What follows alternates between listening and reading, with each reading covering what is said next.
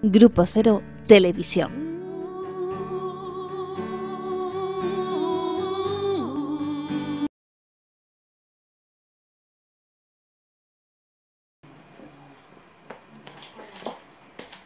Sylvie Luchamp saluda, buenas tardes a todos. ¿Quién? Luchamp. Ah, salud de Ibiza. Vos. A Ibiza le encanta cosas para hacer, se le ocurre ver en otro programa.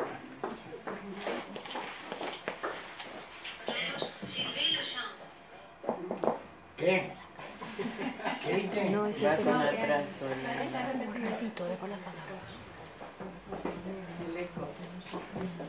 Sí, ya se puede compartir en Paqui Robles saluda, buenas tardes. Vamos a hacer un programa, en principio por televisión Grupo Cero, que se llama El Tango y yo. Tangos de ayer y siempre. Ayer y siempre.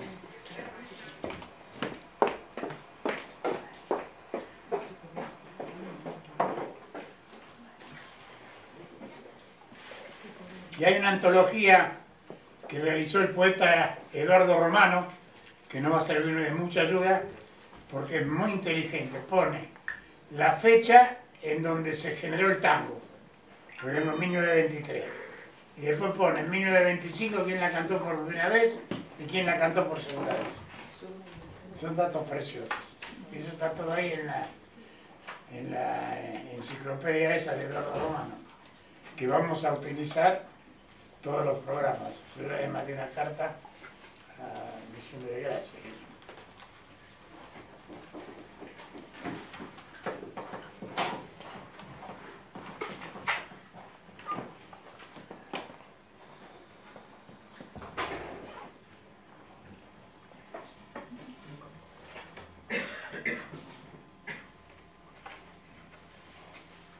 Como tú, señorita, por la noche, así supe morar en el viento.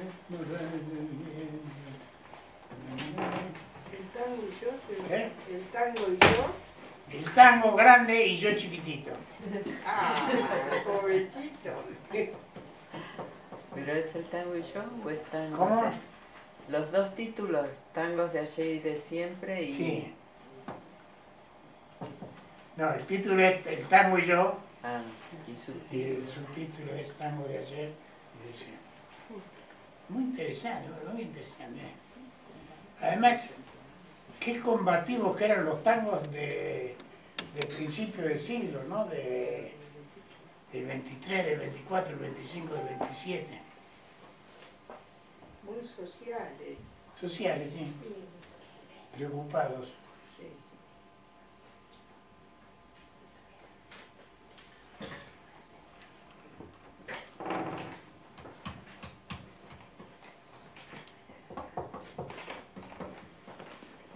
Mí no me miren que yo no tengo que hacer nada, o sí tengo que hacer algo. Bueno, hago algo, si quieren. Una payasadita.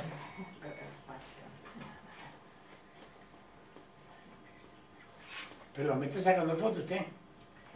Por favor. Qué bien, qué guapo.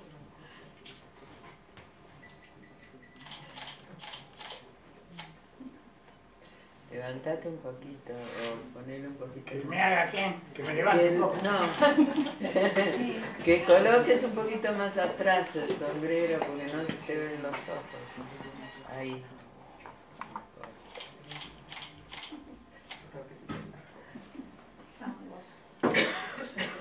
¿Cómo se llama? ¿Sabes que rompo la máquina? Noche, ¿cómo era? Un personaje de un blog. Está usted muy mono, está. ¿Qué? Que está monísimo. Que ha quedado monísimo, que está muy mono. Con el libro. En el libro. A ver, ¿vamos a presentar el libro o qué? ¿Qué? Yacintia Virginia. saluda desde México. Yacintia Chaparro, buenas tardes. Qué guapo. Oye, esa Cintia. ¿Soy yo? Sí. Ahora vas a ver cómo te va a dar ganas de leer el libro. Después de la presentación, espero. De Virginia. ¿Eh? Of course. ¿Y vos qué tenés mano? Yo nada. Yo nada, una ¿Querés decir mierdita. algo? Luego, ¿Cómo luego? que va a presentar Virginia, luego presento yo.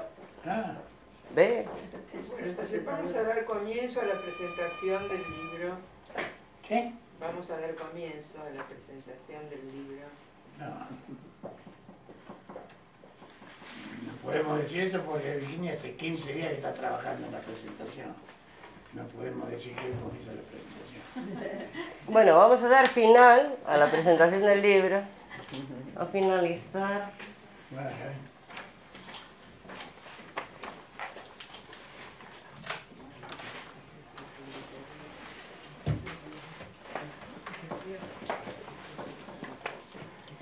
Presentación del libro Las eternas relaciones de pareja y otras cuestiones, de Miguel Óscar Menasa, publicado por Editorial Grupo Cero.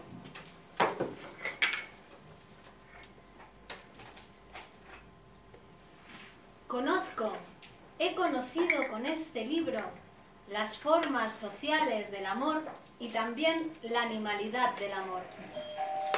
Lo que nos une a los animales es que nos acoplamos en parejas para reproducir la especie, como nos muestra en su portada esta obra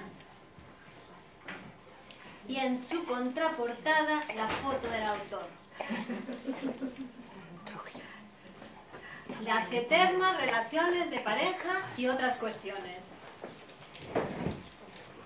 Eternas porque el amor comandado por la especie continúa uniendo a un macho y a una hembra para que intercambien sus fluidos germinativos y la especie pueda perpetuarse, porque somos animales mortales que se reproducen por sexuación, es que nos enamoramos y nos organizamos en familias.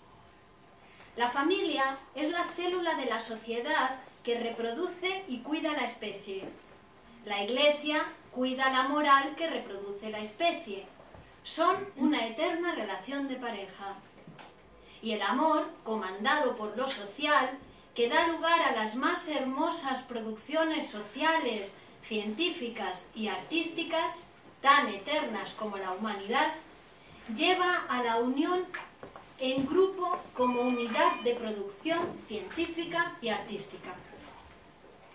Pero la especie es más grande que el sujeto psíquico y el sujeto psíquico a veces se revela contra la especie y a veces se revela contra lo social. Somos animales, sí, pero humanos. Cachorros de una especie que, por humana, pasa por la máquina hominizante y adquiere el aparato del lenguaje que nos hace psíquicos y sociales al mismo tiempo. Y Freud nos aporta el conocimiento del sujeto psíquico que sometido a los vaivenes del lenguaje, tocado por la palabra, es sexual. Así que, desde el comienzo, diferencia este libro el amor de la sexualidad. Y también algunas enfermedades del amor y algunas enfermedades de la sexualidad. O dicho de una manera más apropiada, nuestra manera de enfermar es sexual y la forma en que vamos a morir también es sexual. Pero el sexo que sublima el hombre no es la genitalidad. Ahí hay una, la gran comilona. Yo otro día se muere cuando le hacen la paja, le hacen la paja y- La maestra, ¿no? Pero el sexo que sublima el hombre no es la genitalidad.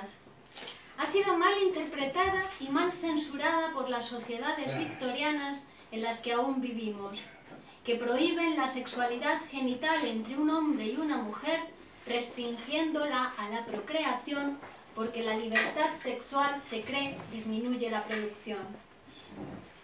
A este respecto, el autor nos cuenta en otro lugar, en el libro Entrevistas 2002, que en la URSS se hizo una experiencia donde, entre cambiar la lengua de los zares o dar la libertad sexual, se eligió esta última, pero que pasado un tiempo, los celos que había producido el amor libre llevaron a la disminución de la producción. Entonces, si tratamos los celos, si el psicoanálisis es ese tratamiento adecuado para los celos y otros sentimientos y problemáticas derivados del amor único, amor infantil a la mamá, entonces el psicoanálisis es el único instrumento posible para lograr cierta libertad sexual, cierta libertad de palabra, cierta libertad de pensamiento. En la Unión Soviética pasó otra cosa con la familia. Después de 40 años que el Estado regulaba el nacimiento de los niños, regulaba en qué sentido. Cuando nacían los niños iban a la guardería. La madre tenía, todas las madres tenían guardería en las fábricas. La organización era perfecta. Bueno, la familia le ganó al Estado soviético y hizo que los niños volvieran al hogar. Con lo cual la mujer recibió 40 días de permiso para cuidar al niño y el padre no sé qué. Bueno, pero generó dos problemas. Muchas mujeres no podían volver a trabajar y el segundo problema es que apareció el raquitismo, que nunca había habido raquitismo durante 40 años. Cuando tomó la familia la conducción de la educación, apareció el raquitismo. No, digo ahora con, con el PIN ese, de la corona. sí. La familia es la peor educadora de todas, por eso existen los colegios. ¿no? Además se ve, se nota. Un niño que va a la escuela primaria o al jardín de infantes es mejor que un niño que no va a la escuela primaria y no va al jardín de infantes. ¿no? Vale, sí, perdón. El psicoanálisis es un contrapensamiento que piensa todo de manera distinta. Y como dice Menasa en la página 109, no es un sol, sino una linterna, un instrumento científico que permite iluminar los ángulos muertos para poder ver donde antes reinaba la más absoluta oscuridad para el humano animal hablante. Y si reflexionamos admitimos alguna verdad del mundo en el que vivimos, la manera en que amamos y la intensidad con que se reprime la sexualidad hoy en día, al más puro estilo hegeliano, racionalista y victoriano, no nos ha ido tan bien. El hombre sigue matándose como hace siglos. Sigue amando, odiando, maltratándose, maltratando a sus congéneres y a sí mismo como hace siglos. El Homo sapiens provoca, dirige, hace y tolera la guerra y las invasiones. Participa directamente como soldado o mercenario. Produce armas y obtiene grandes beneficios de la industria armamentística. Mata, roba, viola y expolia. Infringe los derechos humanos. Con la guerra intensifica el hambre y las enfermedades. Las invasiones, conquistas y colonizaciones producen migraciones y éxodos, destrucción, muerte, imperialismo lingüístico, esclavitud y exilio. Extermina sistemáticamente a grupos sociales por motivos de nacionalidad, etnia, raza o religión. Comete crímenes contra la humanidad. Asesina y secuestra para causar terror y coaccionar a sociedades, países y gobiernos. Y este terrorismo es alimentado e injustificado por las injusticias cometidas por los estados más poderosos y el terrorismo de Estado, líderes que amparándose en la razón del Estado han utilizado y utilizan métodos ilegítimos para inducir el miedo en la población, conseguir el control social y alcanzar sus objetivos. Utilizando la coacción, el secuestro, la tortura, el asesinato, las desapariciones, utilizando a policías, militares, paramilitares, han creado organizaciones terroristas clandestinas y mediante sus servicios secretos perjudican a otros países y provocan cambios de gobierno, golpes de Estado y guerras. El Homo sapiens es capaz de someter a otros individuos a la esclavitud, traficar con personas, hacer trata de blancas, prostitución forzada de mujeres y niños, capaz de ejercer el abuso sexual infantil, incluso siendo religioso. Llega al homicidio y al asesinato, infanticidio, feminicidio, mata a la mujer que ama. Homo sapiens que puede ser autoritario, machista, homófobo, racista, clasista y elitista. La locución latina homo homini lupus, creada por el comediógrafo Plauto en el siglo II Cristo, que decía: Lobo es el hombre para el hombre y lobo es el hombre para el hombre y no hombre, cuando se desconoce quién es el otro. Popularizada por Hobbes en el siglo XVII como el hombre es un lobo para el hombre. Ha sido subvertida por el marxismo llevándolo a la lucha de clases, el capitalista devora la clase obrera. Por el psicoanálisis porque el lobo no es feroz, el hombre es el que lo ha hecho feroz. Y además el hombre no solo desconoce quién es el otro, sino que también desconoce su inconsciente, el otro que habita en él. Y por la licantropía contemporánea de la poesía, amo, aunque la vida sea mortalmente intolerable, amo, aunque luego me vea obligado a aullar. Luis Aragón. Y por ese hombre habríamos de preguntarnos, por el que no es psíquico hasta que no es social, y por esa encrucijada entre la animalidad y la historia que conlleva limitar los impulsos instintivos por saberse mortal y necesitar a los demás, trabaja la cultura, tan maltratada y recortada en la actualidad, al menos en nuestro país, España. Y hablar del mercado de las drogas, más cotizado aún que el de las armas, y las puertas de las drogas más grandes que las del trabajo para unos jóvenes de los que no se ocupa ningún Estado, que tampoco se ocupa de los niños, ni de los ancianos, y tampoco de las parejas.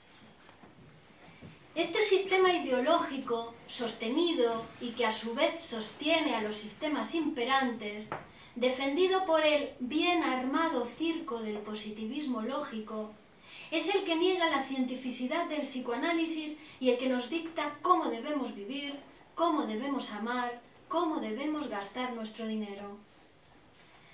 Pero el hombre también es ese que ha conquistado tan grandes logros para la humanidad. El descubrimiento del fuego y de la rueda, la pintura, la escritura, la música, la agricultura, la penicilina y los antibióticos, la aviación, la revolución del transporte, el cine, el desciframiento del genoma humano, Internet, la conquista del espacio, la teoría de la relatividad y el Big Bang, grandes avances técnicos y científicos, la domesticación de los animales, la imprenta, el arte, el deporte, la poesía, el marxismo y el psicoanálisis. Desde la primera civilización conocida, 4.000, 6.000 años antes de Cristo, los sumerios y la primera escritura cuneiforme, el número natural, el vacío de las operaciones formales, las proporciones geométricas, la fórmula de la velocidad, la producción en serie, el capitalismo, la socialización universal. Grandes científicos como Arquímedes y su principio, Da Vinci y sus estudios de anatomía humana, botánica, urbanismo, arquitectura, escultura, ingeniería y arte, Copérnico y el sistema solar heliocéntrico, Galileo Galilei y la ley del movimiento uniforme acelerado, el primer termoscopio, el primer telescopio y la naturaleza de la Vía Láctea, Isaac Newton y la ley de la gravedad, leyes naturales de la gravitación, proyección de la luz, movimiento, dinámica y óptica, Pasteur, precursor de los estudios de microbiología y el proceso de pasteurización, Tesla y la electromagnética, la corriente altérnica y su proyecto de dar energía eléctrica a todo el planeta, Marie Curie y la radioactividad, Albert Einstein y la teoría de la relatividad, la física, la mecánica cuántica y el estudio del universo, Stephen Hawking y los agujeros negros,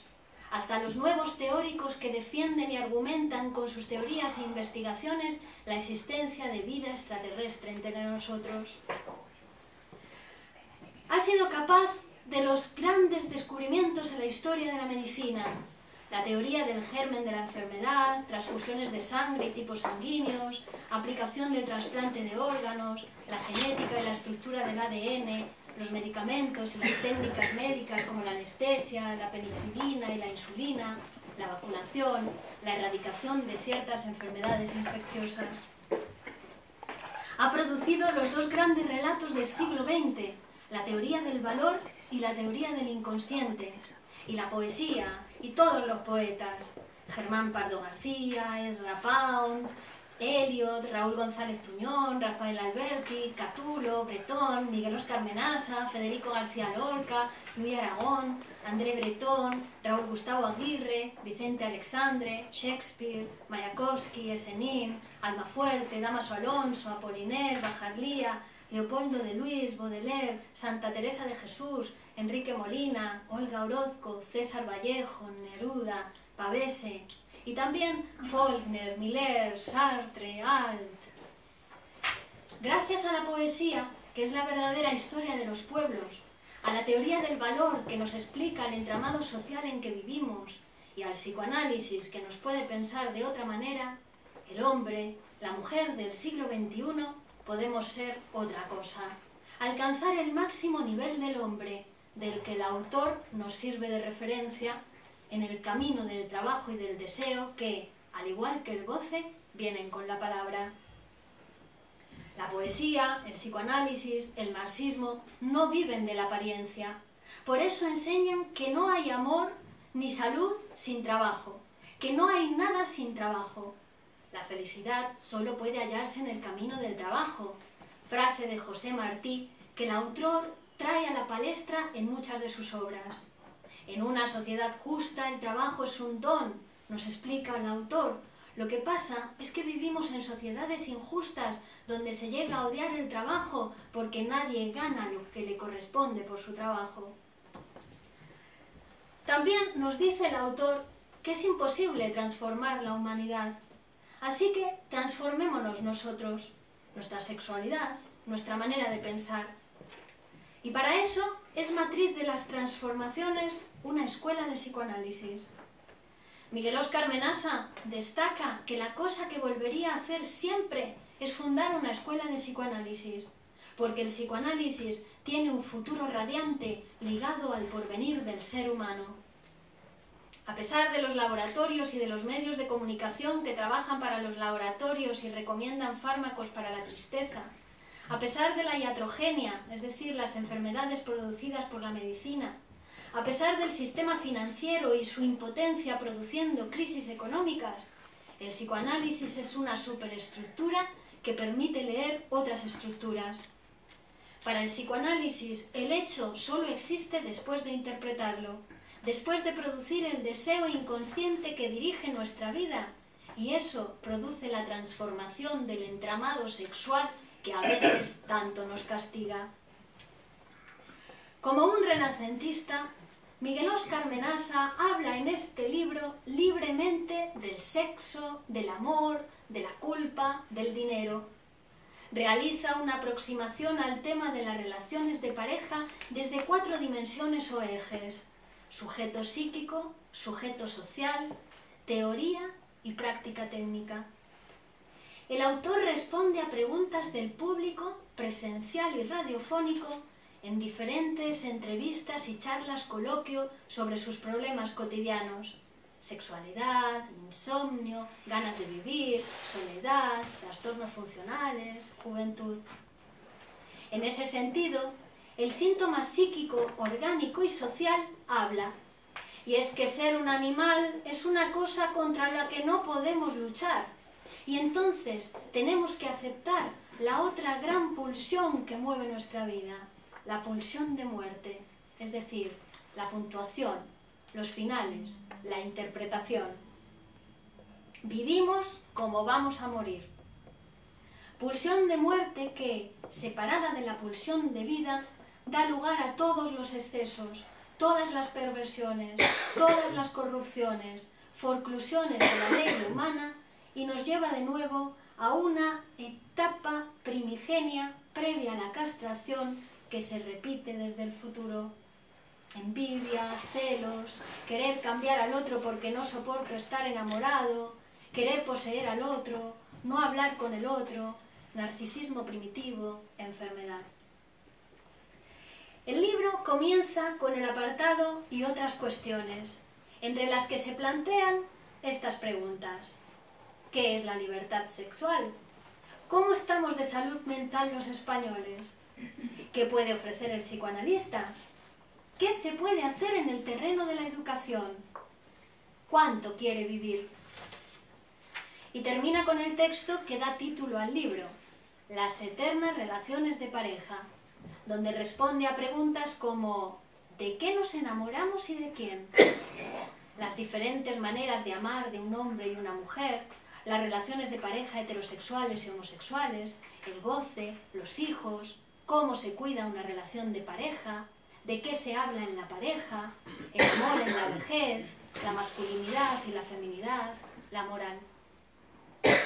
Combina la práctica en vivo y en directo asincrónico, transportándonos a otro tiempo que perdura históricamente con la sustentación teórica de los textos, poniendo en tela de juicio el concepto de verdad y de objetividad de lo que es o no científico. Cuando el positivismo, Santo Tomases eternos de la ciencia experimental, de nuevo Aragón, trata de impugnar la cientificidad del psicoanálisis, impugna también la teoría de la historia. Y Miguel Óscar Menasa, en uno de sus escritos más brillantemente desarrollados, de cómo se equivocó Bunge y el diario El País porque el psicoanálisis es una ciencia, desmonta el entramado positivista desde el problema de la verdad y el problema de la temporalidad, acercándose así a la producción de una teoría de las ideologías materialista, sabiendo que la ideología es inconsciente y que puede sentar sus bases en la conjunción poesía y psicoanálisis en la escritura de Menasa. Felicidades al autor por su 80 aniversario que celebramos a lo largo de todo este año y gracias por el trabajo realizado durante toda su vida, por este nuevo retoño que entrega al mundo y por el humor con que nos interpreta en este libro a todos sus lectores.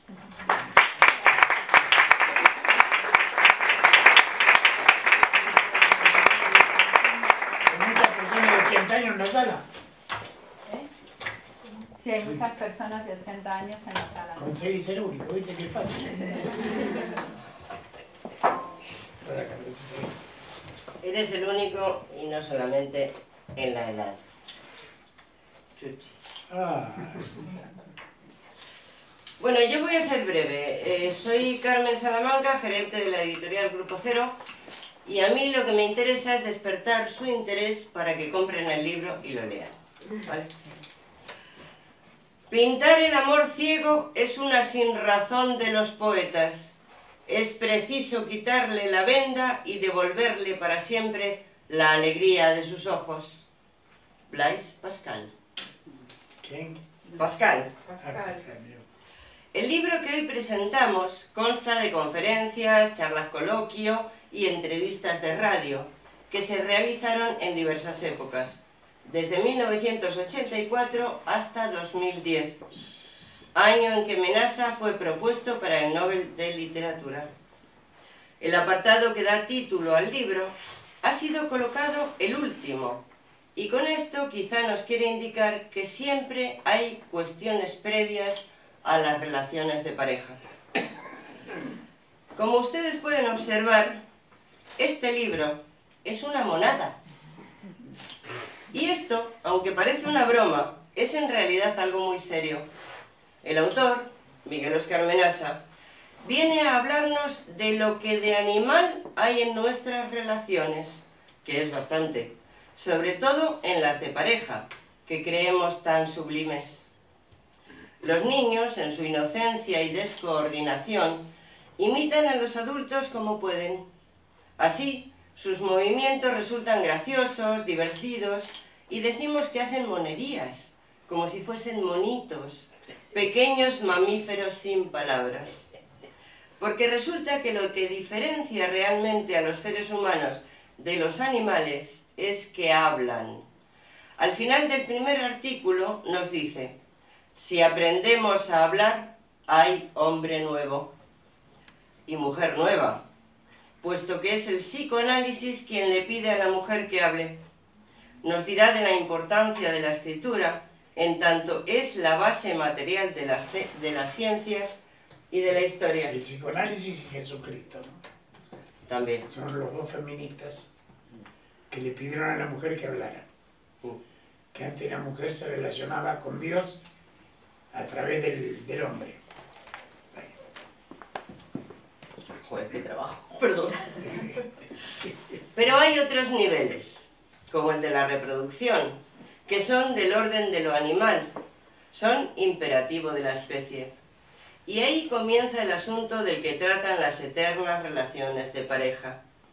Aludiendo a la frase de Pascal, este libro viene a quitar una venda de los ojos, pero a nosotros va a cambiar nuestra concepción del amor.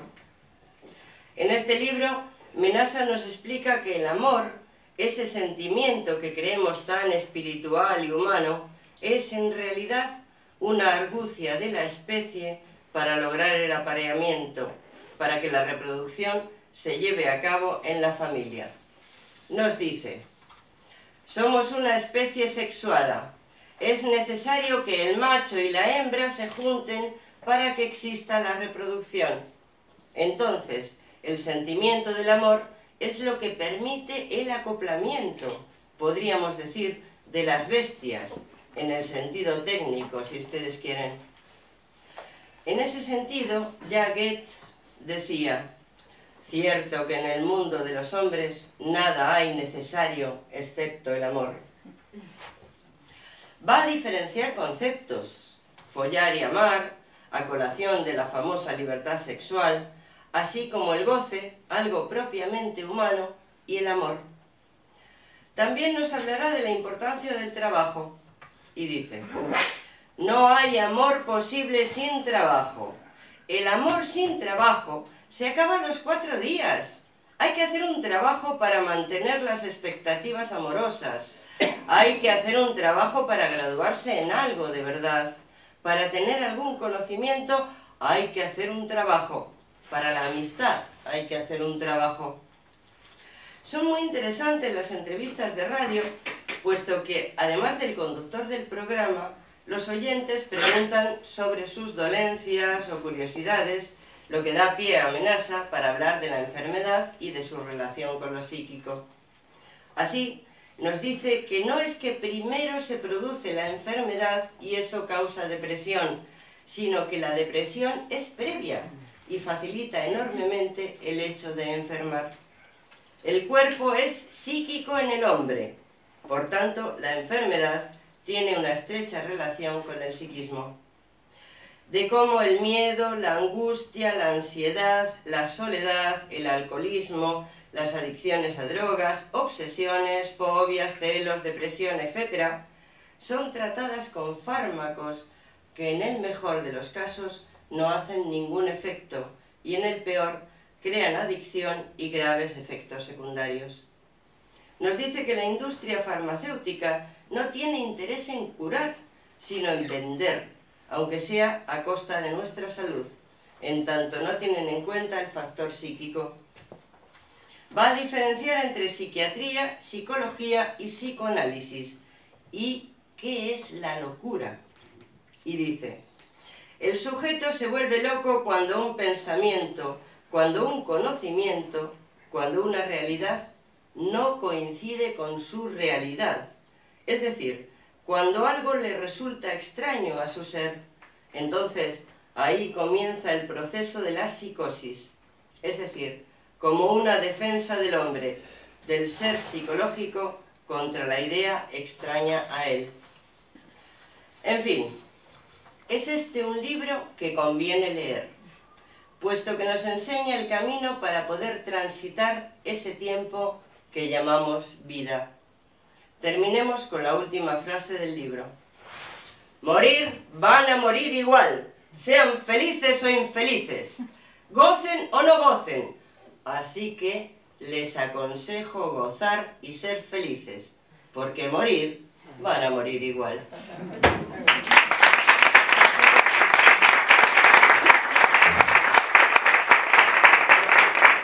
Preguntas. Se abre la veda de preguntas.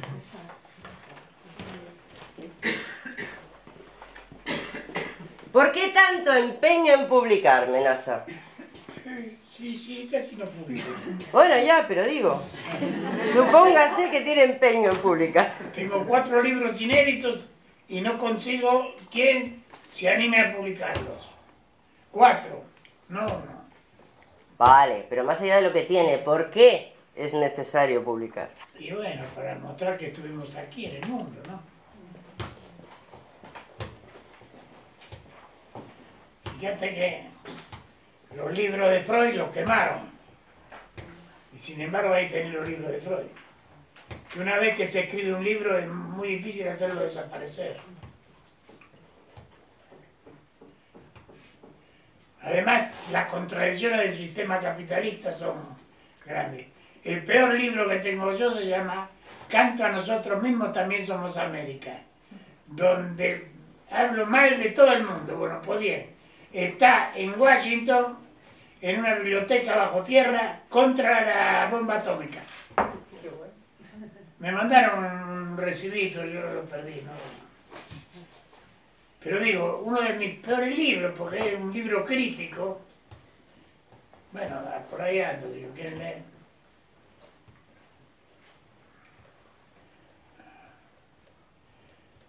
Es contradictorio, el sistema contradictorio, sí.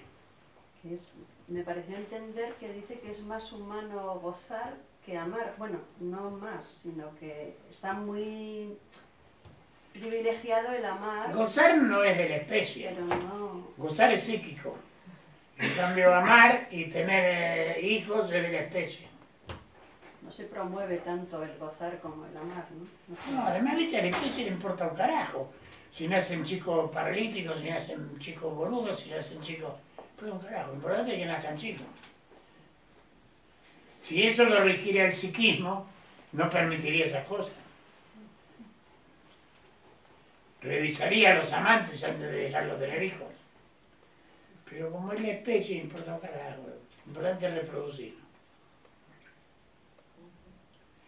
Lo, interesante de esto, yo sé que a ustedes les va a costar unos años entenderlo, es que una parte de ustedes no les pertenece.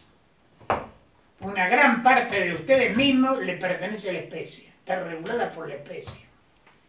Que es más grande que el sujeto psíquico, ¿no? Menazal dice, decir que el hombre es más grande que la especie es como decir que el poeta que escribe poesía es más grande que la poesía. No va. No va.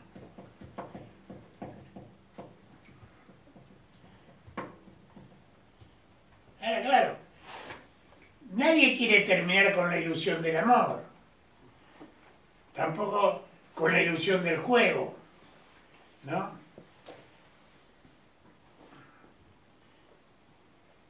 Si nos ponemos a hacer un cálculo bien hecho, hay más gente que juega que gente que ama. Y sí, fíjate la lotería y esto, lo otro, y lo otro, y lo- la bonolote, y la primitiva y el euromillón y el... Todos los días hay juego. Desde niños, están con la maquinita y la juegan todo el tiempo. Así que no se sabe, no se sabe. Ahora este chico Garzón dijo que va a prohibir que abran antes de las 10 de la noche. Una medida Para que nos falten los chicos al colegio. Notablemente humana, ¿no? Claro, si te querés, te- querer ir a jugar, te tenés que estar despierto hasta las 10 de la noche, es decir, ya sos grande. Ah.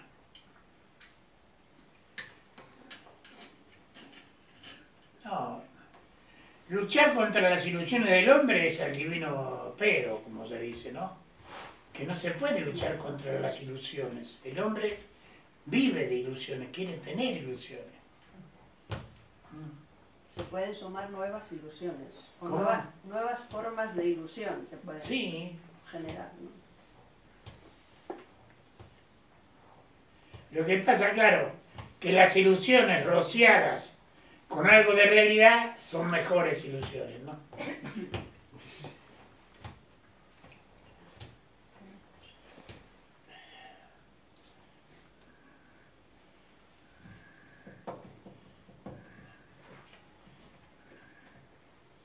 Parezco distraído, pero no soy distraído, estoy muy atento a los procesos sociales, a las desviaciones políticas. Muy atento. Porque yo pienso que tanto los hechos sociales como las desviaciones políticas generan enfermedad en el sujeto psíquico. No, no es que investigo eso por... porque quiero terminar con el Estado.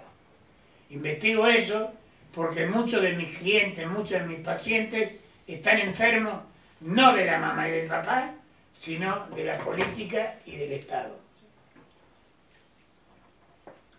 Bueno, llego a decir, ¿no? Que si a un joven le damos educación, le abrimos la universidad para que pueda entrar a la universidad, le abrimos la puerta de la fábrica para que pueda entrar a la fábrica, entonces si sigue nervioso, entonces recién lo tenemos que psicoanalizar. Pero antes, antes hay que resolver los problemas que lo acucian, ¿no? Que son muchos. La pobreza es una enfermedad. La pobreza al final termina siendo una enfermedad. Y sí, porque si te enfermas te cura magoya, eso es lo que pasa. Que si estás sano, crece fuerte. ¿No? Lo que no mata engorda, decíamos en mi barrio, éramos todos pobres. Lo que no mata engorda, claro, pero viste, ahí había gente que se moría, ¿no? Yo terminé engordando.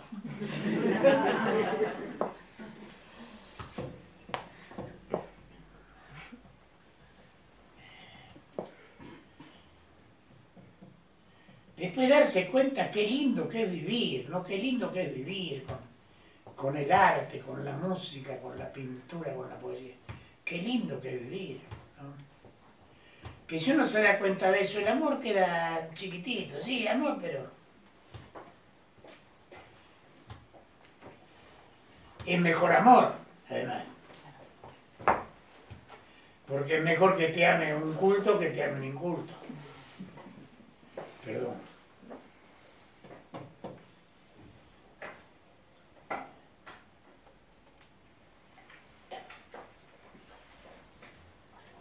Yo digo, el es un don si las sociedades fueran justas. Pero como las sociedades son injustas, el trabajo no es un don. Todo el mundo se queja del trabajo, todo el mundo quiere cambiar de trabajo. La gente se, se antes de tiempo porque no aguanta más el trabajo. Pero eso no son problemas del trabajo, esos son problemas de las sociedades injustas.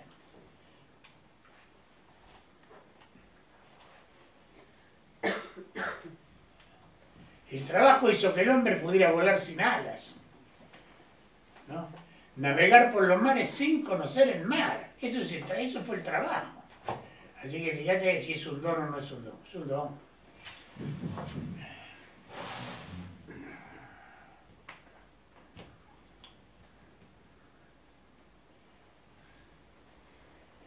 Sí, por favor. Sí.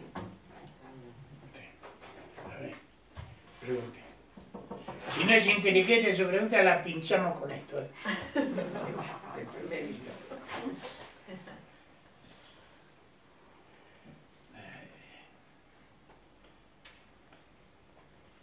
Yo reconozco haber sido todo por el, haber sido hecho como soy por el trabajo, ¿no?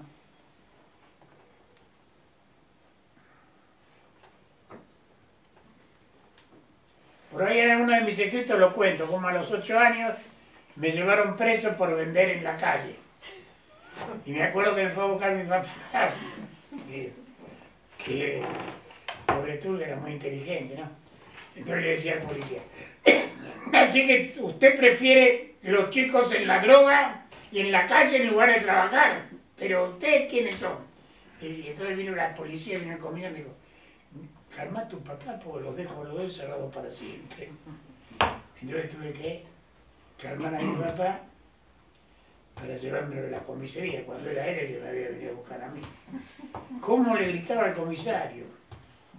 Así que mejor los chicos de la droga son mejores que los chicos que trabajan, decía.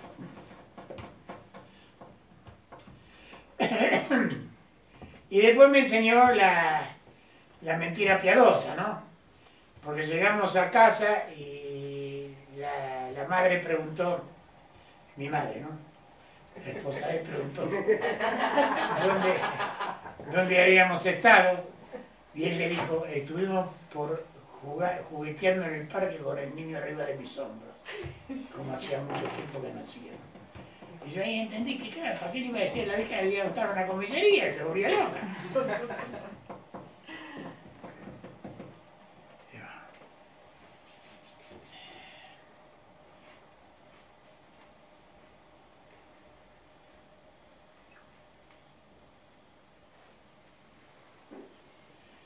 Por ejemplo, yo no era muy inteligente, ¿no?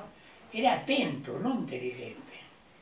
Yo iba a la clase de un profesor de lo que fuera, anatomía, de histología, medicina interna, de lo que fuera, agarraba un cuadernito, lo escuchaba así así, tres anotaciones y ya sabía el tema. Yo no tenía necesidad de ir a estudiarlo. Además, tenía más privilegio que mis otros compañeros, porque a veces el profesor no quería lo que vos le decías que estaba en los libros. Quería que le dijera lo que le había dicho. ¿No? Yo no, yo no. Puedes decir lo que quieras.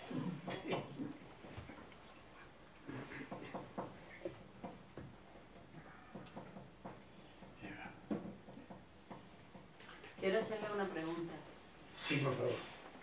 Eh, decíamos que no se puede transformar al mundo, por lo tanto debemos transformar a las personas, a nosotros mismos, para lograr una, esa transformación. ¿no? Lo que, lo que eso de que no se puede transformar el mundo, te parece, es que las revoluciones totales no existen más. Es absolutamente imposible.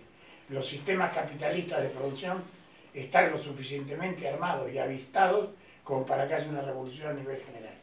Pero lo que no pueden evitar es la revolución de una persona, la revolución de un grupo, la revolución de una comunidad, la revolución de un colectivo, eso no lo pueden evitar. Entonces, cuando viene un paciente a la consulta, ¿Cómo? cuando viene un paciente a la consulta, usted decía que viene con muchos problemas que son sociales, que habría que resolver esos problemas para que también... Mira, tengo que aprender a desglosar, ¿no? Tengo que aprender cuáles de los problemas sociales son problemas sociales y cuáles de los problemas sociales son problemas eh, emparentados con la neurosis que el tipo aprovecha para hacer un neurótico, ¿no? Ahora- Hay que saber discriminar. Entonces, el psicoanálisis también es social, El psicoanálisis es también es social. totalmente social. O sea, el, el ejercicio... Freud dice, psicoanal- mirá, escuchá, no, no, pero es interesante. Freud dice, si no es social, no es psíquico, dice Freud. Yo lo quería decir. Sí, lo que me refiero es al ejercicio profesional de psicoanalistas desde, desde, un, desde cómo transformar lo social. Que no lo vemos, o sea, que creemos que no. O sea, en, en los contextos eh, nuestros, ¿no? Eh, más educativos. Creemos que el psicoanálisis es más eh, desde un trabajo con la persona, en, en la clínica, y no lo es. No, vos sabés que no te entiendo. ¿Qué dice? Eh, en Cuba, por ejemplo, yo soy cubana. O sea, Yo vivo soy en Cuba. cubana. Vivo en Cuba, soy cubana. O sea, en Cuba, cuando se habla de psicoanálisis, eh, aunque hemos cambiado un poco o sea, la visión de, de las corrientes psicoterapéuticas, pero cuando hablamos de psicoanálisis lo concentramos más en, en el área de la psicología clínica como ejercicio profesional. Mirá, eh, tú eres cubana, pero yo llevé psicoanálisis a Cuba. ujú. ¿No? Entonces, eh, que es mentira que está rechazado. No, es mentira. Tendría, tendría 200, 300 personas en la conferencia que se ponían de pie para aplaudir Así la es. conferencia de psicoanálisis. ¿no? Sigue siendo así. Di, di como 17 conferencias, no conocí una sola, un solo bar. En Cuba no conocí un solo bar ni una sola playa. Todo el día viajando de un lado para otro dando conferencias. Hay un libro, ¿Qué? Que hay un libro, las conferencias en La Habana. Sí, conferencias, no, y además hay gente que mm, se recuerda de mí, que ahora es psicoanalista y le agradece que yo haya estado. Pero claro, eh, eh, como experiencia social, comunitaria, es decir, cómo puede transformar eh, el hacer en un hospital o en una escuela, eso tal vez no se ha vivido todavía, ¿no? No. Es a lo que me refiero. Ahora, yo estuve en Cuba, En Cuba, ¿no? lo que se vivió en Cuba es que cada médico atendía a cinco familias, nada más, a cinco. Nada de 40 familias, 60, a cinco familias. Y claro, evidentemente había una cosa psicológica en la atención.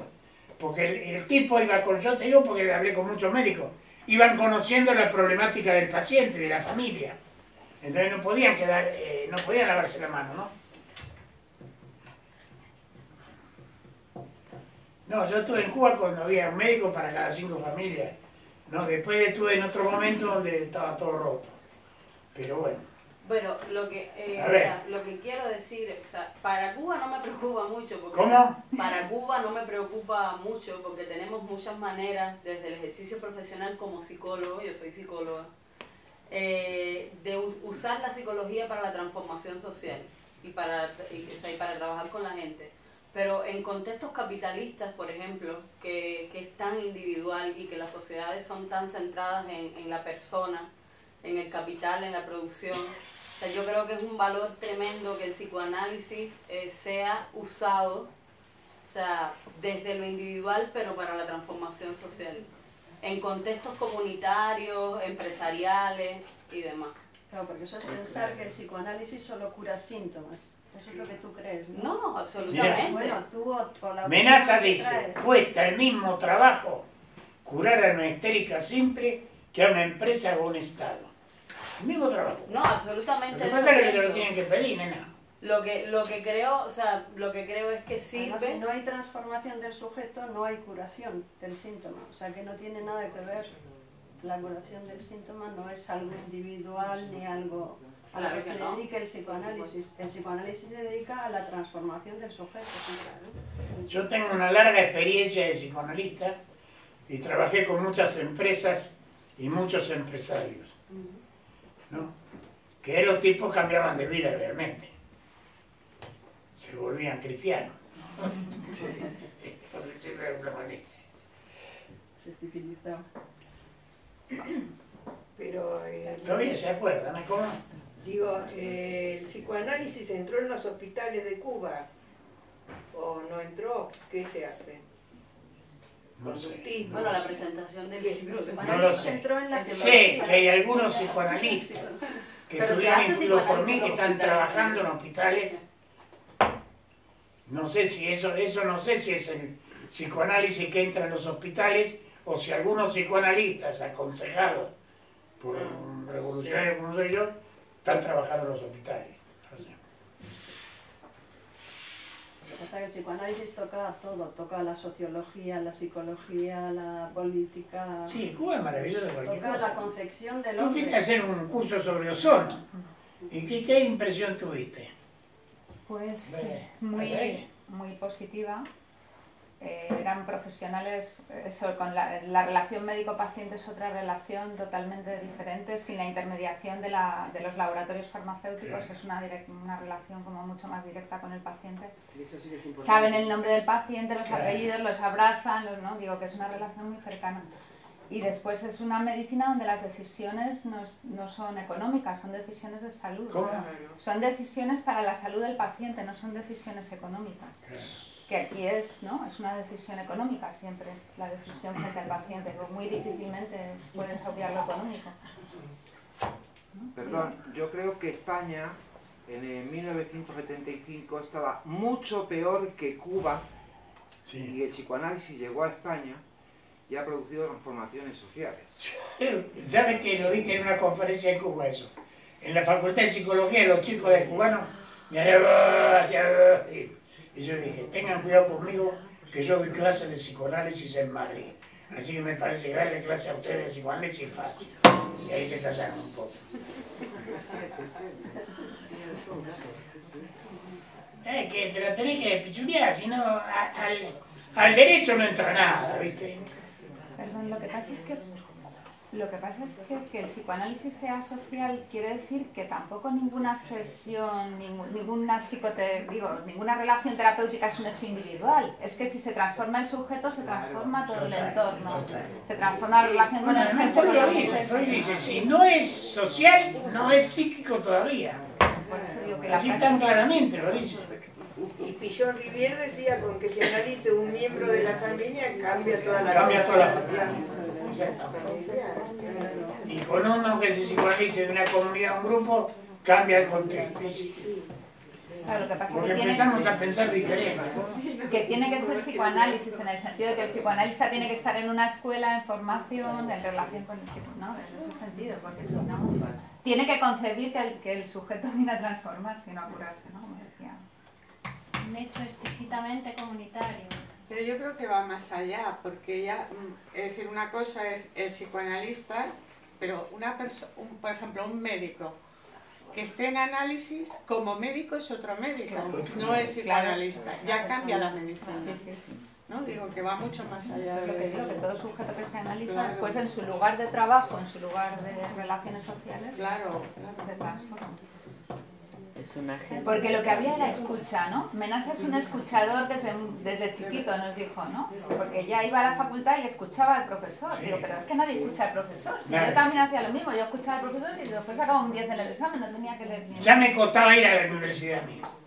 Entonces, como me costaba ir, me acuerdo que los amigos del barrio, cuando fui el primer día de la universidad, me- yo iba así todo de prolijo. me- te pones corbata.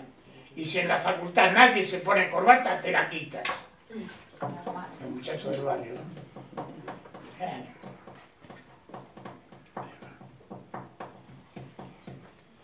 Sí, un poquito de vino. Un poquito de vino, así pueden escuchar mejor los poemas.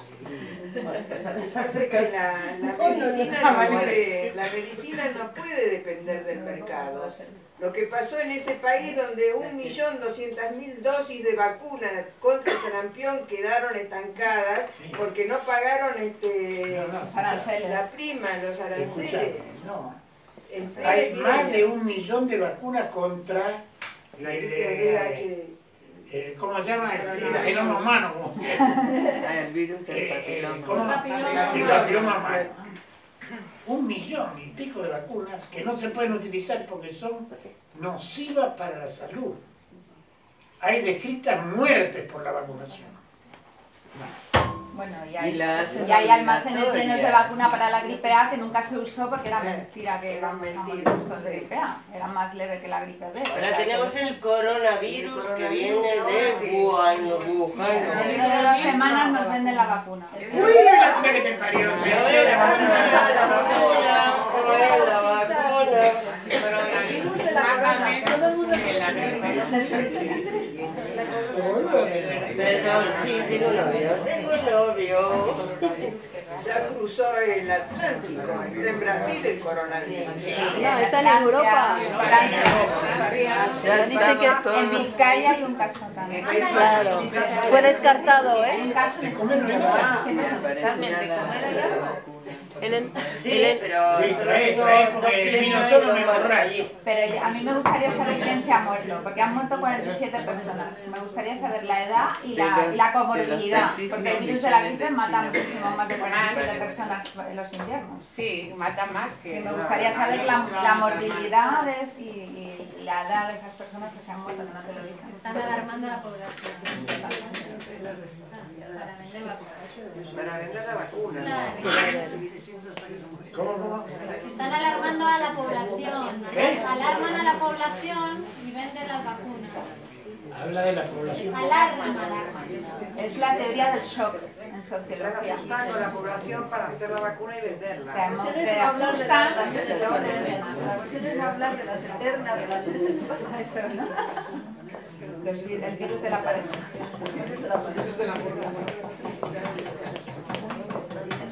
Eternas porque no se puede acabar con la especie. Claro, ahí es la eternidad, ¿no? En la animalidad está. En la. Mientras haya especie humana, habrá amor. No mientras haya amor, habrá especie humana. O sea que el amor está asegurado. El amor y la familia. La Porque, que la familia y la iglesia, porque la familia cuida la reproducción de la especie, pero la iglesia lo que cuida es el coito normal, porque cualquier otra cosa que no sea el coito normal no reproduce. No le conviene.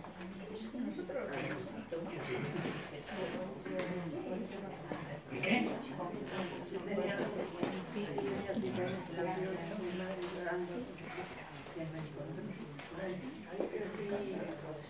aquí a los estudios.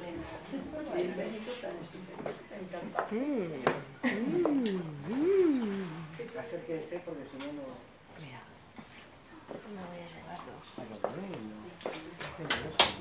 ¿Vais? Carlos.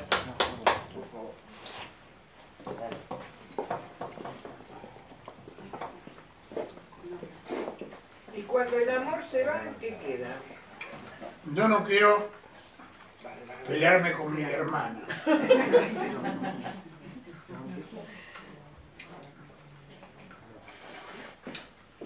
Pero follar es bueno.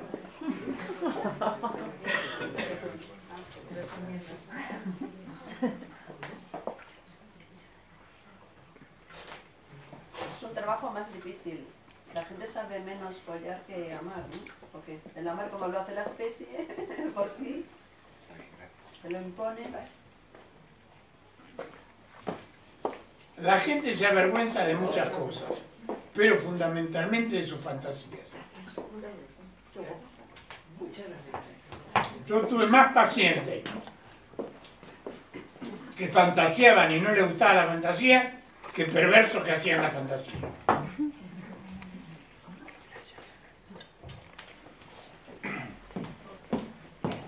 Eh, Pero follar a veces se equivoca con el amor, porque hay muchas personas que follan y ya te tratan como si fueras suya, como si fuera una relación eterna Faltan 200 años de educación, de mire. educación, porque claro, tan- con tanta exigencia.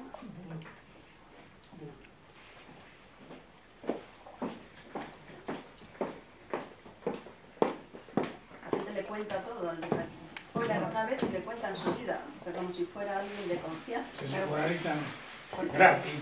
Gratis.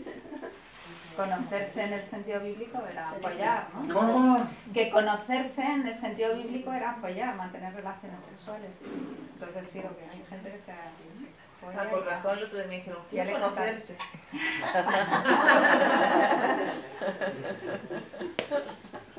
Pues fue el chiste. Que por eso el otro día le dijeron, quiero conocerte. A Elena. Ya entiende, ya entendió por qué se lo Bueno, ya sabes lo que te dijeron, entonces. ¿Hay más sanguchitos? Eso no hay... ¿Eh? Voy atrás. A ver, fíjate, ¿eh?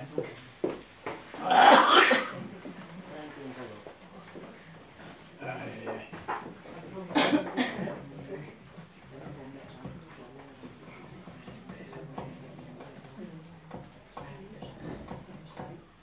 Entonces dice, si soy así, ¿qué voy a hacer? Para mí la vida tiene forma de mujer. Cuando veo una pollera, no me fijo en el color. La viudita en la casa de la soltera. Para mí son todas peras en el árbol del amor. Si soy así, Los ¿qué voy a hacer? Que Juan Tenorio el que ha vuelto a renacer.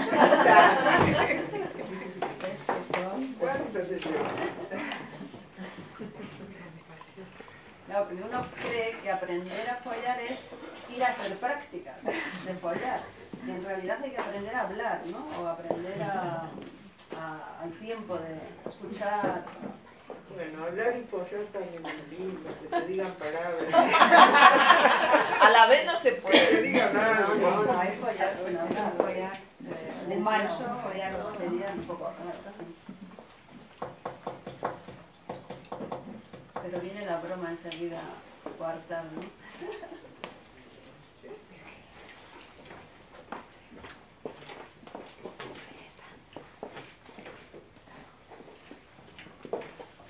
Tráeme un libro de poesía. ¿eh?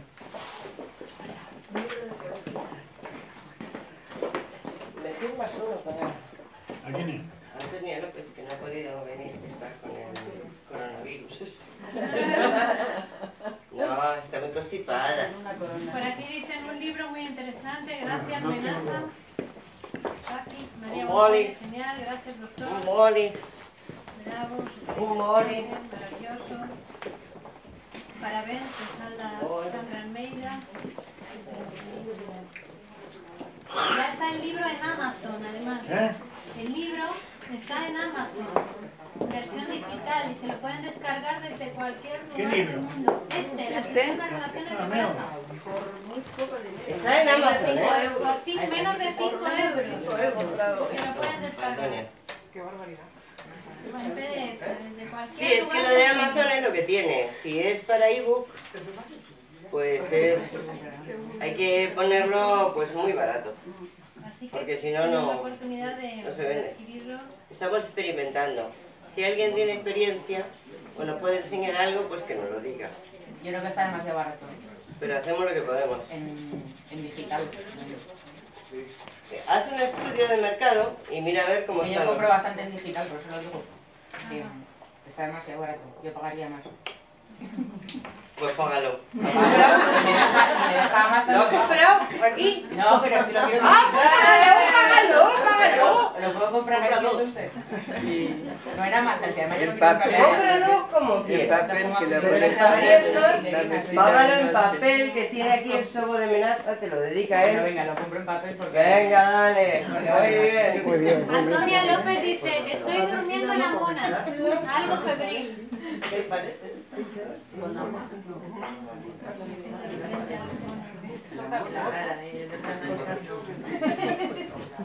Tenemos que vender un libro aquí a la señorita que que lo compra. No lo he comprado todavía. No. Pero qué cosa, vergonzosa.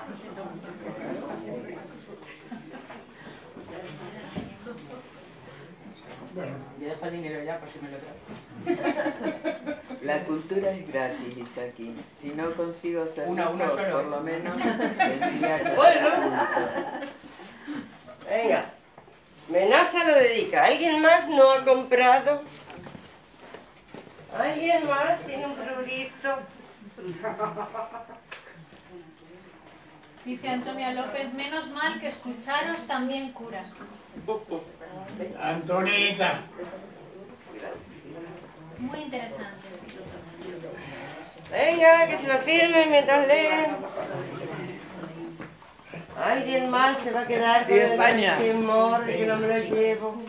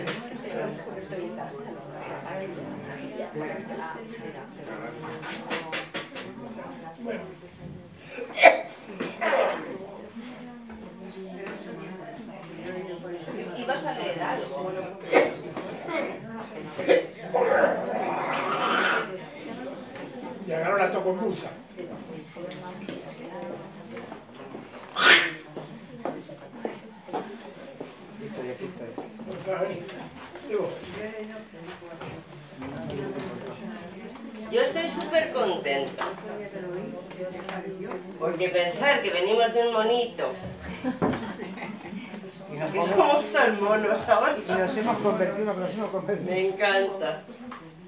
La Virgen. Bueno. Ellas a mí siempre me engañaron. Cuando había un dolor, lo engrandecían. Cuando había una alegría, la empequeñecían. Todo gran triunfo siempre era casi nada. Todo fracaso conseguía en su decir ser el peor de todos los fracasos del mundo. Cuando gozaba como una verdadera loca de amor, radiante y encendida, decía, está bien, no fue tan malo. Y cuando no gozaba porque no quería o porque mientras hacíamos el amor pensaba en varias cosas del trabajo o su madre siempre a punto de morir o algún amante que cuando joven la rechazó y la quiso con locura, ella convocaba una rueda de prensa para insultarme en público, para decirle a todo el mundo que mi propia impotencia era responsable de su propia locura. A veces, solo para engañarme, salía con sus amigas, pero a mí me decía, he conocido un hombre elegante y culto, hoy querido cenaré con él. Con el dinero siempre me decía que no le alcanzaba para nada. Después, para mantener el engaño, el dinero que le sobraba a fin de mes lo regalaba y esas tardes maravillosas que no encontraba a nadie en sitio alguno que aceptara de regalo el dinero sobrante, lo tiraba mientras caminaba tranquilamente. Y hacía pequeñas pelotitas de papel moneda y cuando pasaba por alguna alcantarilla trataba de embocar en las ranuras y cuando conseguía pasar por la rendija alguna pelotita de papel moneda, se divertía como loca y gritaba ¡He triunfado! ¡Esta vez he triunfado! Cuando volvía de esos delirios del papel, abría su cartera vacía, sin un céntimo, y me decía Te dije, querido, varias veces que el dinero que me das no alcanza para nada. Esto ocurría alrededor del día 25 de cada mes. Yo mucho no entendía y la miraba. Hoy, Hoy es 25. como dice Teresa. El día 25 de cada mes.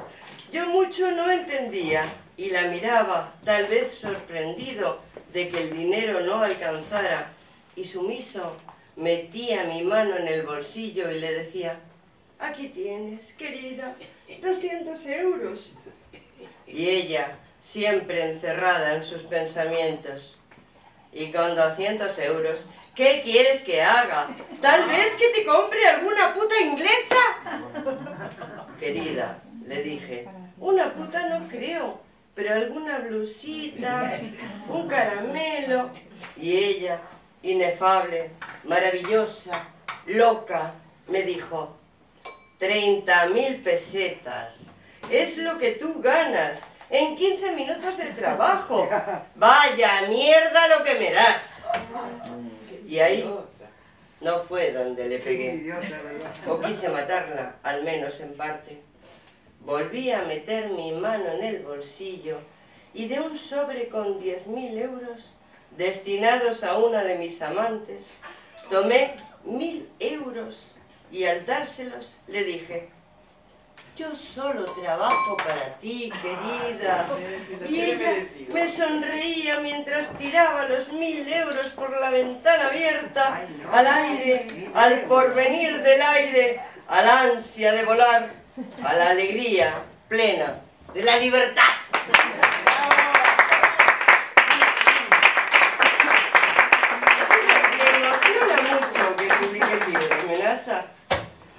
Me pongo como loca. Mientras no lo tires por la ventana.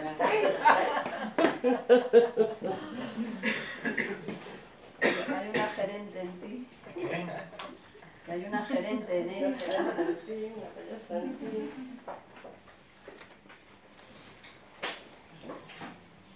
A ver, uno sobre el cuerpo, a ver.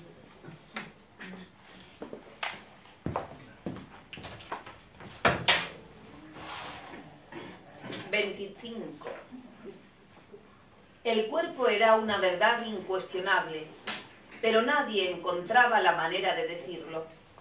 Venía, se imponía sobre todo y al partir dejaba un temblor en el ambiente que nadie podía reconocer como propio.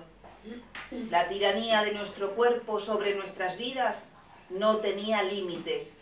Cuando estaba presente, lo rompía todo con, con su prepotencia. Ahora a comer, ahora cagar, ahora follar, ahora, ya mismo, ahora, comer aunque no haya comida, cagar mil veces ese montón de nada y follar en un momento inoportuno y siempre con quien no corresponde. Y cuando el cuerpo no está ahí, el hombre comprende su esclavitud. Ni siquiera un alma fortalecida por el deseo de amar y la amistad puede vivir sin cuerpo. Recapitulemos, amada. Tú me concedes una gracia y me la chupas. Por decirlo de alguna manera, me haces un favor. Con la vida que llevamos en el mundo moderno, yo gozo lo que puedo y te agradezco. Pero esta noche me quedé pensando, ¿su boca gozará? Fui recorrido por un escalofrío. Cuando llegué a decirme, tal vez solo su boca me ama. Tal vez solo su boca te desea. ¿Por qué no conformarme con su boca? ¿Por qué no hacer de esa boca que chupa y que desea todo el tiempo un monumento histórico y tirar a los perros hambrientos con mucho amor todo el resto?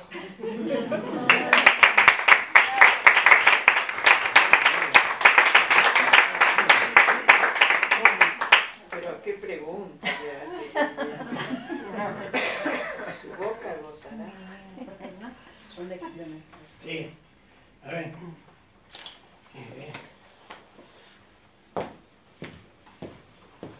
Felicidades Menasa, muchísimas gracias por tu escritura, dice Jacintia.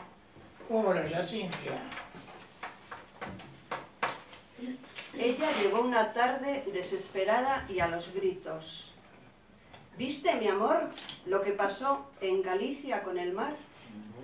Una gran bola negra de mierda y de dolor en alta mar mira amenazante hacia la tierra, mientras silenciosa mata a los peces en el mar, envenena las rocas y los musgos marinos, para que nadie nunca más, ni siquiera los peces, pueda hacer el amor en el profundo mar. ¿Y tú qué piensas? Me preguntó antes de desmayarse, porque el alquitrán se le pegaba a la garganta y al mismo tiempo le impedía respirar y cantar. Estoy convulsionado, amada, y no digo roto, porque no corresponde, no corresponde a un hombre de mi edad. Es cierto, mi pequeña, la marea negra ha pegoteado y manchado todos mis pensamientos, desde la pequeña almeja enamorada hasta el marisco vanonil y encendido, avergonzado de su belleza ennegrecida, se esconde sucio tras las rocas sucias en un sucio mar. Hoy mismo, dijo ella con fuerza, dejaré de jugar y de comprar regalos y enviaré ese dinero a Galicia para que puedan limpiar dos o tres mejillones o comprarse un buzón y enviarse una carta de un pescador gallego pidiendo piedad. Señores gobernantes, no queremos vuestro dinero, queremos los medios adecuados para curar el mar. Porque es necesario, señor presidente, para nosotros, que haya mar, marineros, pescadores taciturnos.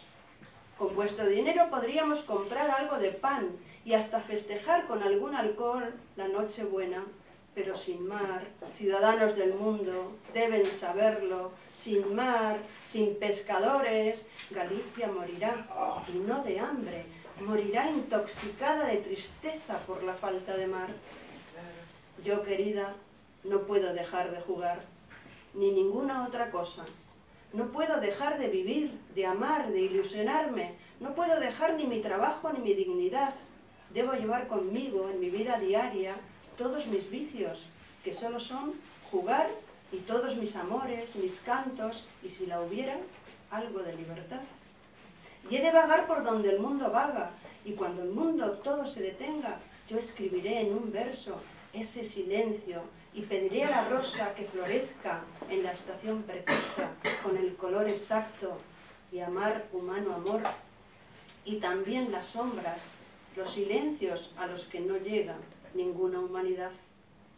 Y también, como humano, quiero poder amar el sexo, cuando el sexo no tiene de humano casi nada, sino la fiera misma con su orgasmo siempre estrepitoso y a tiempo, y la vaca esperando detenida hasta el nuevo ser.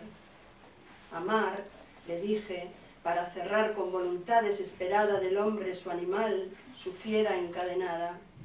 Así me gusta oírte hablar, dijo ella entretenida en el espejo, tal cual un macho de la especie, nada de palabritas ni arrumacos, ahí, tieso, siempre para adelante.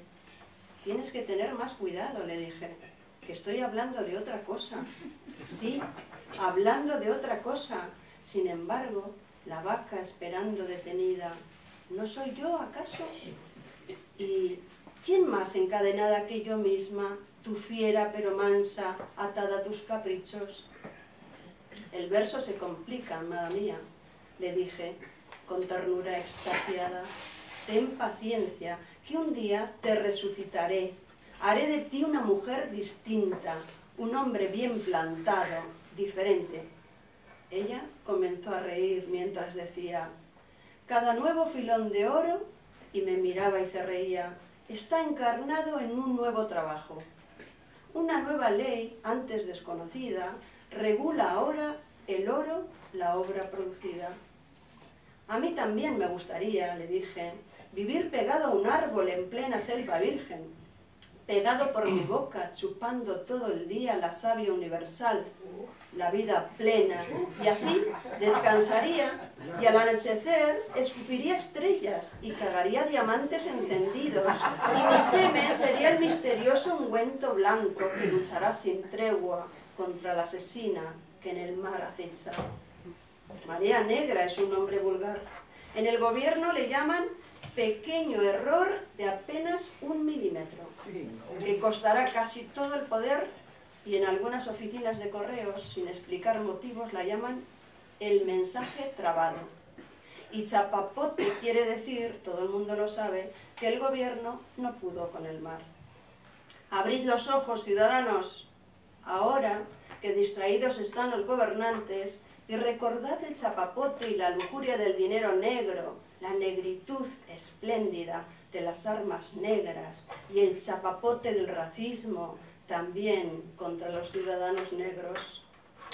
Hasta el señor Gran Dios tuvo su chapapote, cuando muy bondadoso, exactamente justo y exageradamente hermoso, tuvo que matar.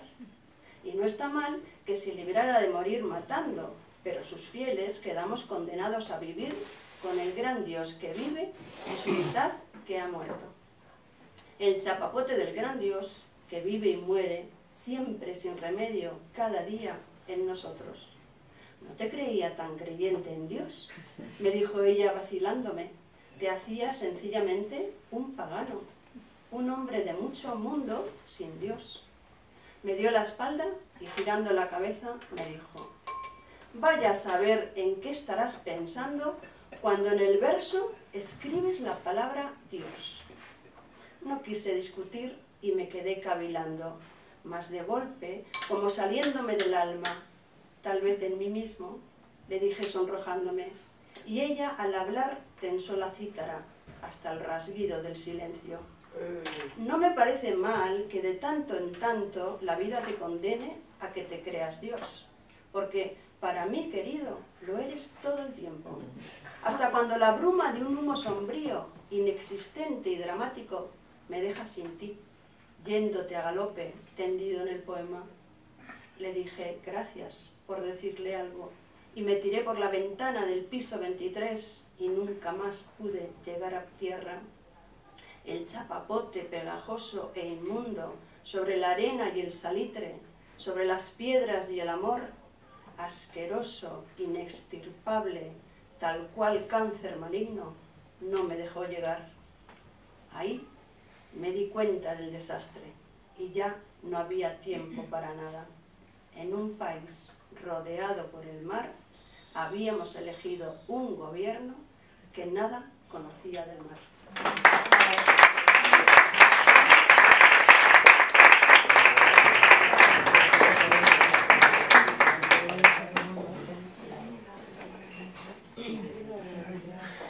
Ay, ay.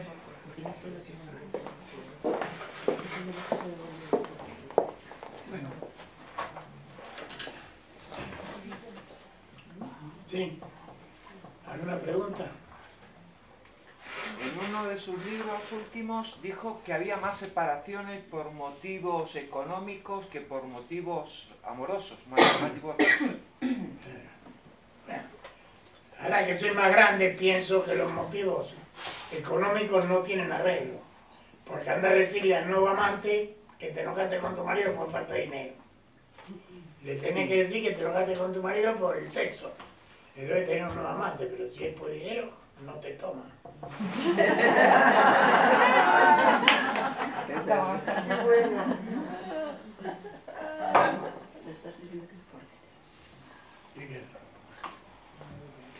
Dice Andrés Juan Casachacua Casani. Felicitaciones, doctor Menasa. Usted y su equipo están rescatando a mucha gente del dolor y el sufrimiento emocional y físico. Y es que ustedes saben enseñar y explicar. ¿Qué es México?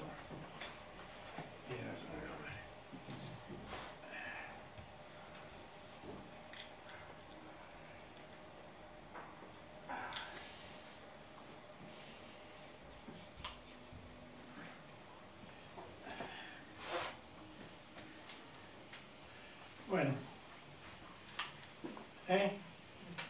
¿Qué? No queremos saber A nada. ver. No, pero estaba pensando de que este, se matan a la, a la mujer, la matan, pero después se matan ellos. También, sí. sí. En algunos casos. ¿Cómo es? Entonces mato y me mato. Es. En Al algunos matar al casos. otro me mato a mí, porque la, lo que pasa es eso, ¿no? La matan a ella y después se pegan un tiro. Hay algunos que se equivocan, ¿eh? Y no se matan a ellos. Y otros ni siquiera lo intentan. matarse ellos. Pero el mozo de escuadra que se más, la mató a la mujer con un disparo del arma reglamentaria y después se quitó la vida con el mismo arma. Ahí se- Yo creo que cuando se mata él es un problema de amor. Y cuando la mata ella sola es porque no la aguanta más.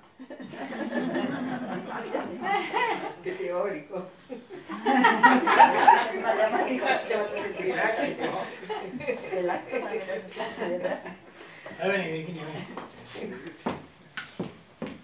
Nada era tan terrible y tan maravilloso. Nada era tan terrible y tan maravilloso. Nada era tan terrible y tan maravilloso. Morir en tus brazos los días de fiesta. Entre finos alcoholes y sedas estridentes, todo ardor se desprendía de tus labios. Al crepitar salvaje de fuegos interiores, pequeñas bestias encadenadas al amor, tigres de una llanura incuestionable, nos hundíamos ciegos en la danza. No eran movimientos lo que producíamos, eran catástrofes, cataclismos inesperados y abiertos, violentos sacudimientos para iniciar las ceremonias. Fiesta se llamaba ese ir y venir de la locura, al desgarrarse alcohólico de las sedas.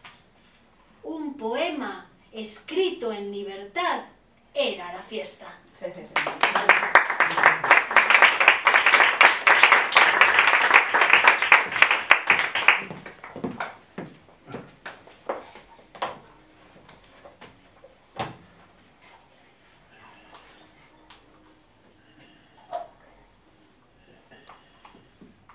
un poema suyo que habla del amor, que dice el amor, el amor, ¿dónde estará el amor? Te busqué por los salones. No tengo el libro más. Después encontré otras palabras. Está en la poesía yo. ¿Qué? Que está en la poesía yo. Ella. Está ¿Qué? ahí, está ahí, tiene el libro ahí, la poesía yo. Sí, ¿qué pasa? ¿Dónde estará Está el ahí, amor? está ahí el poema.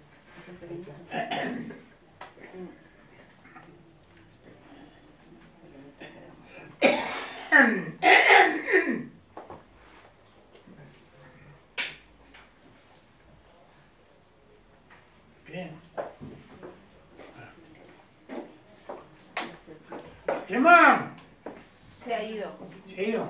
¿Se ha ido? Estaba pachucho. Ah, mira. vos. Está encendida la cámara, ¿eh?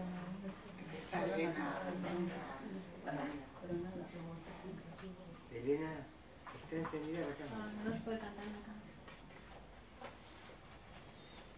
Bueno, ¿alguna preguntita?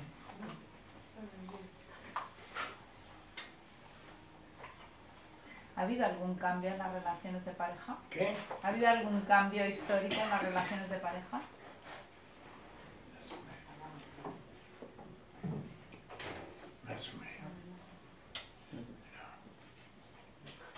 No. No, porque yo siempre cuento lo de la Unión Soviética, ¿viste?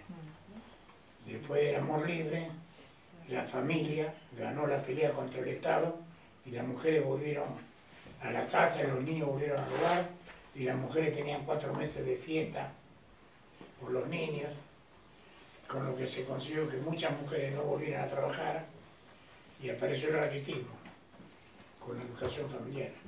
También hablas de las guerras, que, ¿Cómo? que también dices que las guerras producen en la historia de la mujer, de la, la de la de La mujer iraquí era sensacional. Los, eh, sí, ustedes pueden buscar esto tranquilamente, el mismo lo que yo, ¿no? Eh, los eh, grandes eh, paseos de modas se hacían en Irak y en París. Desfiles. ¿Qué? Desfiles de moda. Los desfiles de moda. Era la mujer más elegante de todo Medio Oriente. Lo que pasa es que con la guerra se atrasó 100 años la liberación femenina en esos pueblos. Porque la mujer tuvo que ponerse de nuevo el manto y empezó a curar a los enfermos, a cuidar a los hijos, a cuidar. Se ha perdido 100 años de liberación. No, viste, la guerra es...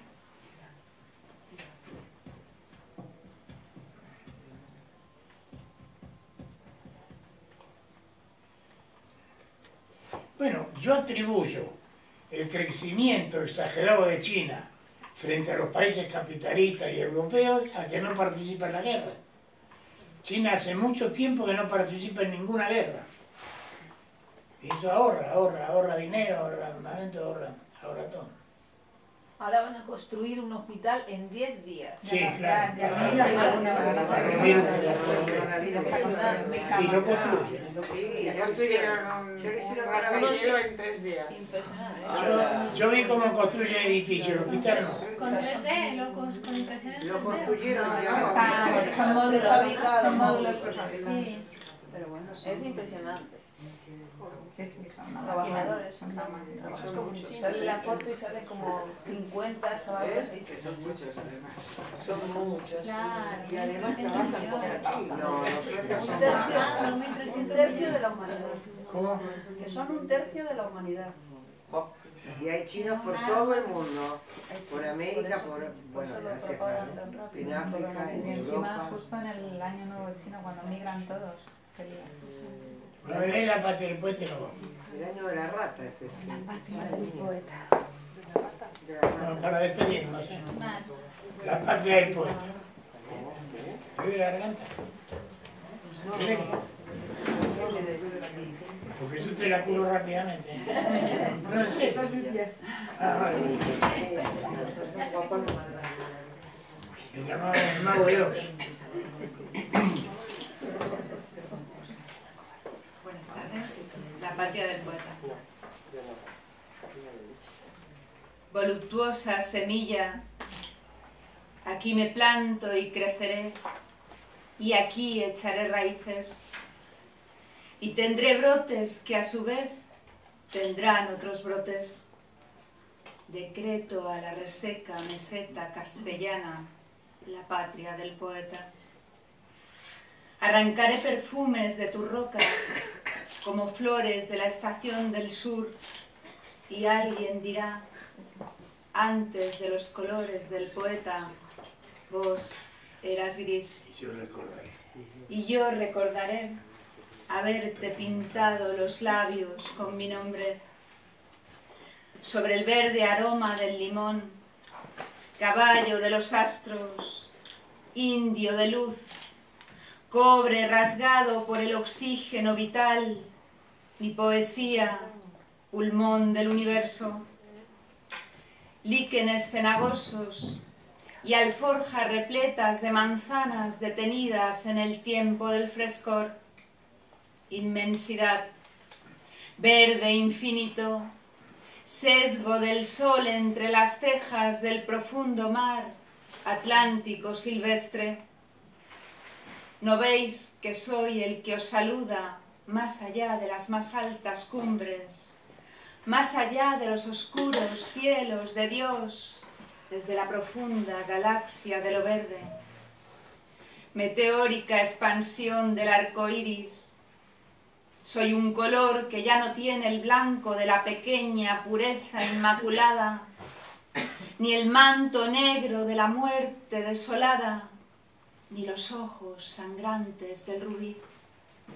Soy del celeste cosmos y del sol la conjunción marítima y alada. Mi voz es el rasguido de la guitarra astral.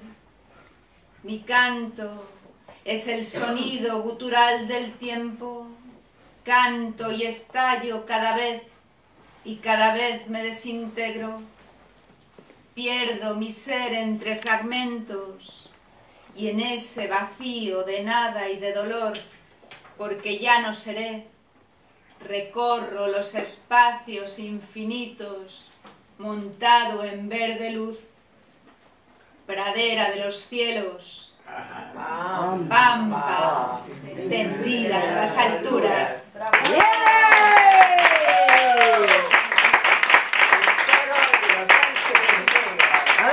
Ver, ¿alguien quiere que le un libro? Una tímida.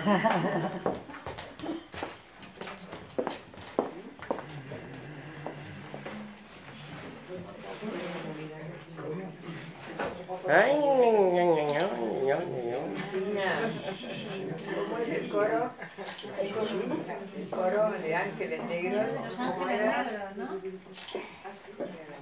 Sí, bueno, pero leer como Alejandra ha leído, eso tiene bueno. su Sí, así cosilla. va a ser el tango y yo, así va a ser.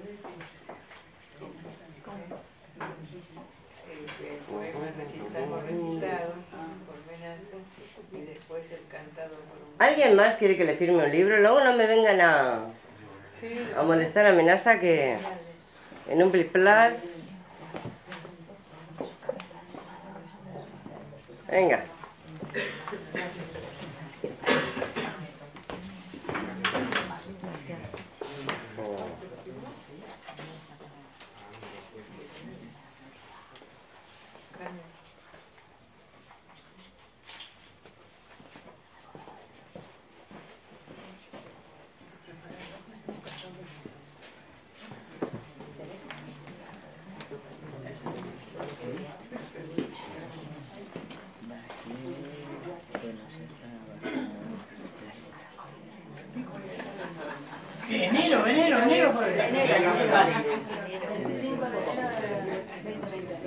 La colgamos por aquí, ¿eh?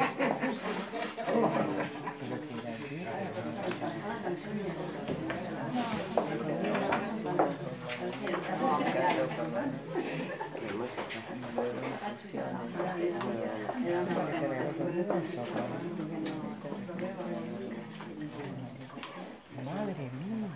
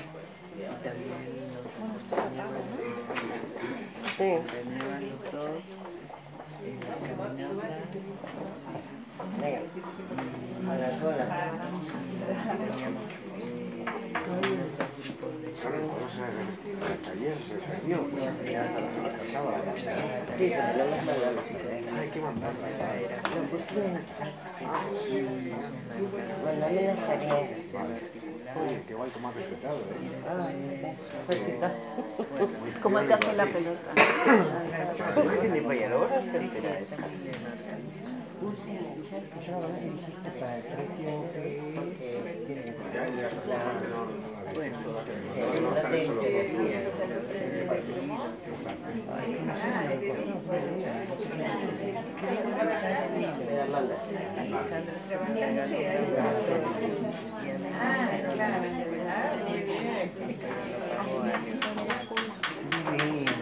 acabo de guardar la cámara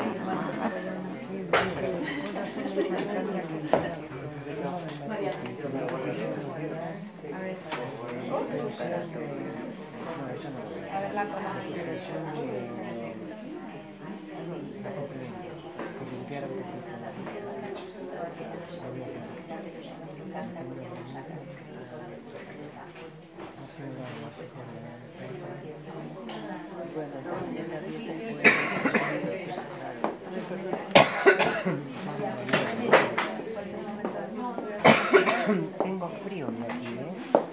¿Sí? Hace frío, hace frío. Yo tengo frío aquí hoy. ¿eh? Hace frío.